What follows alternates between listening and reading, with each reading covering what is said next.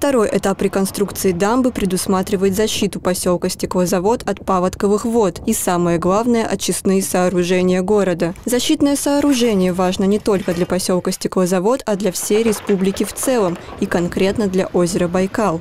В данный момент ведутся работы по устройству упорной призмы а, на пикетах. Пикет 1 до пикета 4, а также от пикета 8 до пикета 6. А, также ведутся работы по а, каменной наброске, а, армирование ар армок каркасов, а, бетонирование откоса. В данный момент работа выполнена на 30%. Строительство стартовало в мае, а завершить реконструкцию планируют к 2023 году. Однако есть шанс, что это произойдет раньше. По планам э, объект рассчитан на два года, но если нам позволит паводковая ситуация э, не, не превысить критический уровень, то тогда у нас есть э, календарный график, который предусматривает завершение работы в этом году. Подрядная организация уже сейчас идет с опережением графика где-то процентов на 10.